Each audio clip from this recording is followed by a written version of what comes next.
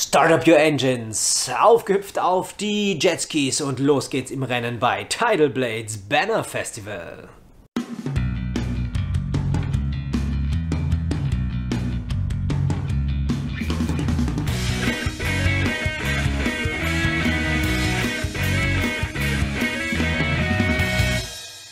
Hallo liebe Freunde des gepflegten Brettspiels und herzlich willkommen zu einer Review zu Tidal Blades Banner Festival. Ja, ein Spiel für zwei bis fünf Spieler, ab acht Jahren 30 Minuten geht das Ganze und es ist von Lucky Duck Games bzw. von Druid, äh, Druid City Games, so rum. Und äh, ja, um was geht es hier in Tidal Blades? Ähm, wir haben hier sozusagen die Familienvariante, so ein bisschen eine Art Stichspiel, denn äh, wir versuchen hier Karten auszuspielen, den Jetski einmal umrunden zu lassen oder durch das Tor zu fahren, um dann eben genug Punkte zu machen, um aber auch Früchte sammeln, die wir dann in dem Festival sozusagen futtern können. Aber eigentlich geht es darum, ganz, ganz viele Siegpunkte zu machen und ich zeige euch mal so ein bisschen, wie das Ganze funktioniert. In Tidal Blades Banner Festival versucht ihr, das Rennen zu gewinnen, indem ihr ganz viele sozusagen Stiche macht und diese Banner bzw. diese Profit Tokens zu erhalten. Wer die meisten Profits Punkte hat, gewinnt das Spiel. In diesem Spiel gibt es vier Farben, die auch hier erkennbar sind und in einem Fünf-Spieler-Spiel gibt es diese Nuller-Karten, die sowohl hier die Zahl oben drauf haben, als auch den Effekt. Je kleiner die Zahl, desto größer der Effekt natürlich, denn man möchte ja Stiche gewinnen und diese Effekte triggern quasi nur, wenn man den Stich verliert, also letzter ist, denn das ist natürlich mit einer höheren Karte sehr viel schwerer, deswegen sind die Effekte bei höheren Karten wie hier auch viel stärker. Die Zahlen gehen von 1 bis 9 und das sind sozusagen die Wertigkeiten, die ihr dann jetzt hier in dieser Runde habt. Jeder Spieler erhält sein Kartendeck hier, das äh, von groß 28 nach klein 1 hier gestapelt wird, nebendran gelegt. Jeder Spieler erhält hier seine Banner, also seine Chips hier und dann muss das Boot hier jeweils auf die 1 gesetzt werden. Wir haben hier nämlich die Runden hier 1 bis 8 und das Tor wird hier auf die 4 auf die gelbe Seite hier gestellt. Ihr seht, dieses Spiel ist in vier Quadranten aufgeteilt, jeweils die Farbe hier, wovon man die Wertigkeit der Karten sieht. Also hier ist quasi die Trumpffarbe orange, dann gelb, ähm, dieses Türkis und lila. Hier an dieser Seite ist es gelb und so weiter und so fort. Dann habt ihr das ganze Spielfeld nochmal in zwei Hälften aufgeteilt, was wichtig für diese Tower hier ist. So, jetzt werden jedem Spieler acht Karten ausgeteilt und dann kann es auch schon losgehen. Jeder Spieler wählt nun eine Karte und spielt diese verdeckt aus. Das heißt, hier gilt es darum, wenn man gewinnen möchte den Stich, möchte man hier eine gelbe Karte haben. Wenn man den Stich verlieren möchte, ist es sinnvoll, die orangene Karte zu legen. Ich versuche jetzt mal hier, da ich keine hohe Karte hier habe, sozusagen eine mittlere Karte zu spielen und nehme jetzt mal hier ähm, diese 6. Die wird hier hingelegt. Jeder andere Spieler spielt auch seine Karte und dann decken alle Spieler ihre Karten auf. Dann wird geschaut und der Reihe nach aufgelöst. So, in dem Fall haben wir nur eine gelbe Karte, das heißt, diese Karte gewinnt den Stich mit der 7. Das heißt, der Effekt wird nicht gespielt, sondern die 7 hat gewonnen. Jetzt darf also hier der grüne Spieler zum Beispiel bis zum Tor vorfahren. Das Ziel ist es nämlich, wenn man eine komplette Runde fährt, das heißt, das Tor wird nach dieser Runde von dem Gewinner ein bis vier Felder nach vorne gestellt und sollte das Tor zum Beispiel hier sein und der grüne Spieler umrundet hier über die 8 auf die 1 das Feld, dann darf er die oberste Karte aufdecken. Und das bedeutet, dass er am Spielende einen Siegpunkt hierfür bekommt.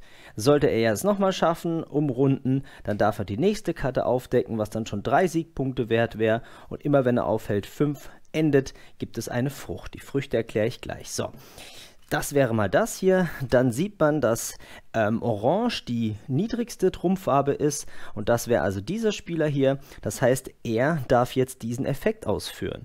Nyrock, gain one fruit and advance your watercraft two spaces. Ja, er bekommt jetzt eine dieser Früchte aus der Mitte und ähm, darf dann hier sozusagen zwei Felder mit seinem Watercraft hier nach vorne rücken und genau, das ist der Effekt. So, dann gibt es jetzt noch die beiden hier, die sind ja sozusagen in der Mitte, das heißt weder Verlierer noch Gewinner.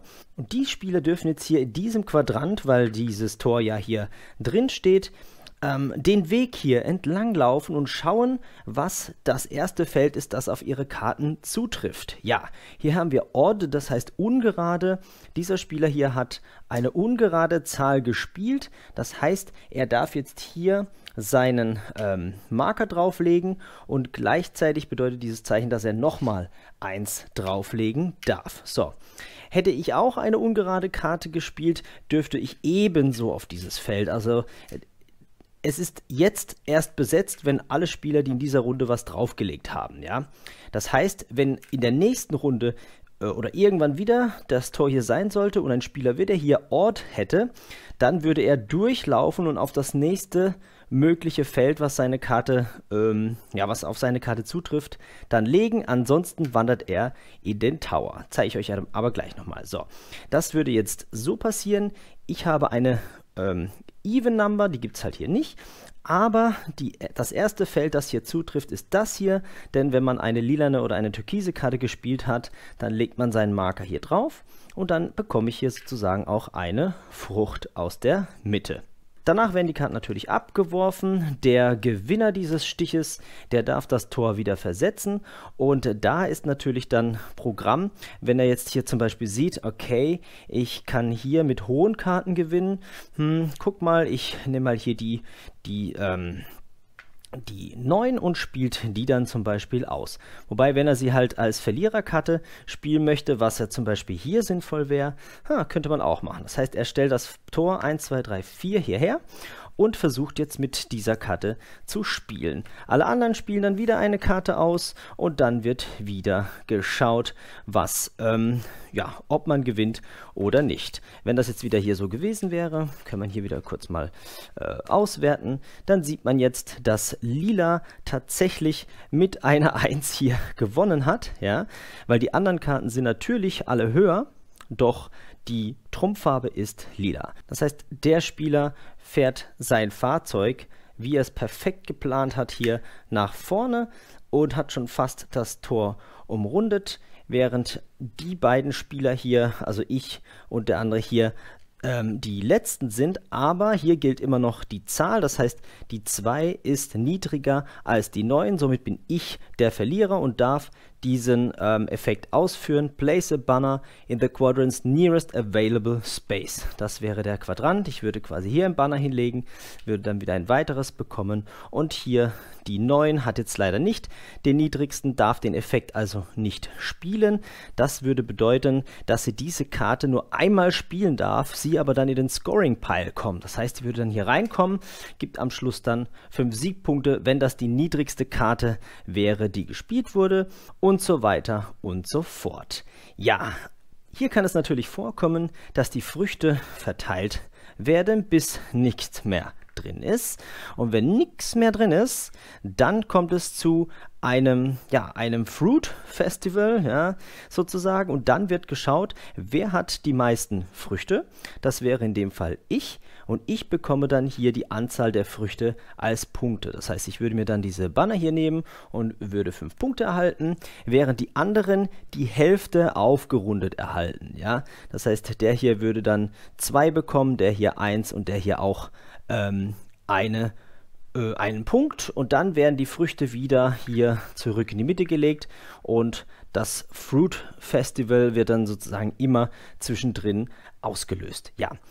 Dann, wenn alle Karten ausgespielt wurden, dann ist es soweit. Jetzt wird dann gezählt, wie viele ähm, von diesen Punkten hier, also die Mehrheiten werden hier gezählt. Ja. Das heißt, man schaut dann hier die eine Hälfte. Wie sieht es da aus? Okay, ich habe hier definitiv die Mehrheit. Das heißt, der mit den meisten bekommt sechs Punkte, der nächste dann drei, der äh, nächste dann einen Punkt. Das heißt, man muss immer gucken wegen Gleichstand. Aber in dem Fall würde ich jetzt hier sechs Punkte bekommen. Der rote Spieler würde hier drei Punkte bekommen. Und die einer von den beiden, ähm, ne Quatsch, nur der ist hier noch, Ding, der würde dann einen Punkt erhalten. Hier drüben das gleiche, ja. Da schaut man dann auch mit der Mehrheit und hat dann die, die zwei Hälften sozusagen ähm, abgehandelt. Wichtig, danach werden alle Banner wieder an die Spieler zurückgegeben, die sich nicht im Tower befinden. So, das heißt, diese gehen alle weg, aber hier sind die beiden Tower, das heißt, hier bleiben die ähm, Banner oder diese, diese Tokens hier erhalten. Das heißt, für die nächste Mehrheitenwertung in der zweiten und dritten Runde sind die natürlich äh, gut, denn ja, man hat dann schon automatisch einen Vorteil hier drin. Nach drei Runden ist das Spiel dann vorbei. Wie gesagt, jede Runde werden dann wieder die Karten gemischt, ausgeteilt und ja, dann wird natürlich zusammengezählt. Abhängig davon, ähm, wie viele hier stehen, hat man dann die Punkte. Wie gesagt, wenn man zum Beispiel hier auf diesem Feld hier stehen bleibt, ja, dann bei 3 kann man sich hier eine Frucht aus der Mitte holen, das machen dann diese Karten hier. Es gibt hier noch verschiedene Effekte, dann, dass man einmal drumherum darf und so weiter. Und äh, dann natürlich eure Punkte hier zählen und ja, dann wer die meisten Punkte hat, gewinnt das Spiel. Ja, Banner Festival. Tidal Blades ist ja nach wie vor eine sehr coole Reihe. Also von der Optik her. Es ist ja quasi ein richtiges wie das MCU haben wir ein Tidal Blades Universe, ja, das äh, TBU quasi. Und ähm, das erste habe ich ja noch da oben stehen, eine riesige Schachtel, das heißt äh, Tidal Blades, was dann eher so Würfel, Würfel, ähm, ja, ein Würfelspiel war, bei dem man auch Proben äh, schaffen muss und sozusagen, ähm, ja, ein Dice Chaka und neue Würfel ergattern. Dann das Rollenspiel oder das Rollenspielartige mit Storybook, das ist ja noch nicht raus. Und dann haben sie jetzt irgendwie noch das hier gemacht, was sozusagen im Target in Amerika und so, äh, also hier in Deutschland noch nicht erhältlich ist, ähm, dort aber verfügbar ist. Ja, kostet nicht so viel und ist eher so für die Familie oder den Gelegenheitsspieler gedacht. Ja, ich glaube, in diese Ecke geht das Ganze auch, aber ich weiß nicht so recht, ob das da auch überzeugen kann. Also für uns, ich habe das in einer kleinen Runde gespielt, sowohl mit Zweier als auch mit einer größeren Runde, fünf Spieler. Ähm, ich finde das System ganz cool, dass man ähm, Karten erstmal verdeckt, dann aufdeckt und dann guckt, wer sticht denn jetzt eigentlich wen. Ja, wie gesagt, ob das ein Stichspiel jetzt ist, kann man sich äh, drüber streiten. Ich nenne es jetzt einfach mal so, ich glaube, es steht auch hinten drauf. Ähm, auf jeden Fall versucht man halt ähm, der Gewinner des Kartenausspielens zu sein. Ja, der Clou ist aber, ähm, je nachdem, wo, die, wo das Gate steht, da wird ja die Farbe bestimmt und auch die Stichstärke oder, oder die, die, die Trumpffarbe, sage ich mal, oder die Wertigkeit der Karten. Und äh, basierend darauf kann man natürlich auch die Karten spielen, um zu hoffen, dass man den Stich kriegt oder auch nicht. Weil, wenn man den Stich bekommt, ja, dann darf man sein Boot bis zu dem Tor fahren. Ja, wenn das natürlich eine große Strecke ist oder dann es dann schafft, einmal zu umrunden, dann bekommt natürlich immer mehr Karten und kriegt dann auch mehr Punkte. Also eben diese, diese Punkte-Karten hier, nicht Karten auf der Hand. Ähm, aber letztendlich ähm, möchte man vielleicht auch die Aktionen oder die Fähigkeiten auf der Karte nutzen. Ja, das heißt, wenn man der Verlierer des Stiches ist, dann darf man die Aktion auf der Karte machen, was auch cool sein kann. Eben bei fünf Spielern darf man sogar eine komplette Runde machen, also bis zu dem Tor. Ähm, oder was? Komplett bis zum Tor? Oder komplett umrunden? Auf jeden Fall sehr, sehr, sehr mächtig. Und ähm, ja, zusätzlich kommt dann noch das Element, dass die, die eben nicht gewinnen, in der Mitte noch was machen können. Das finde ich eben cool, dass jeder, der, ähm, ja, jeder etwas bekommt. Das mag ich eigentlich an dem Spiel und das ist so quasi dieses Feel Good, man bekommt immer irgendwas. Blöd ist halt nur, dass man nicht so richtig planen kann, weil letztendlich sage ich, okay, ich hätte gern diese Funktion, ah, oder die, die, diese Fähigkeit, die bringt mir schon viel. Ha, ich spiele mal eine 3. Ich glaube nicht, dass jemand was Kleineres hat. Vielleicht doch. Ah, jetzt hat jemand eine 2. Super. Und jetzt komme ich quasi mit dieser Farbe in die Mitte, die mir dann halt zwei Früchte gibt. Ja, okay. Wenn man eine gewisse, wenn man den Früchtepool leer geräumt hat, kriegt dann der, der die meisten Früchte hat, eben die Punkte. Aber das ist, das fühlt sich halt manchmal sehr zufällig an. Das heißt, eigentlich plane ich so ein bisschen was zu machen, aber eigentlich könnte ich wahrscheinlich einfach Karten mischen, eine spielen und gucken, was rauskommt, weil man kriegt ja immer was.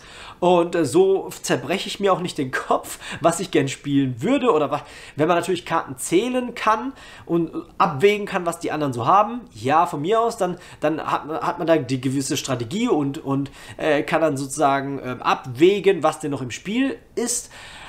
Ja, aber ähm, ist ein bisschen schwierig und vor allem auch bei kleiner Spielerzahl ist es auch ein bisschen ähm, problematisch, weil ähm, wenn man zu zweit spielt, deckt man weitere zwei Karten auf. Es spielen also zwei Dummy-Spieler mit. Ist zwar ganz gut gelöst, weil man deckt eine auf und eine ist verdeckt. Das heißt, man hat eine Information, was man ja normal nicht hat, was die eine Karte ist, also wenn jetzt halt eine, eine 8 lila ist, dann werde ich wahrscheinlich keine 7 lila spielen, um der Hoffnung, ich könnte den Stich gewinnen, aber kann dann vielleicht ein bisschen anders taktisch agieren, wobei dann die andere verdeckte Karte immer noch ja, Glück ist, was da drunter ist.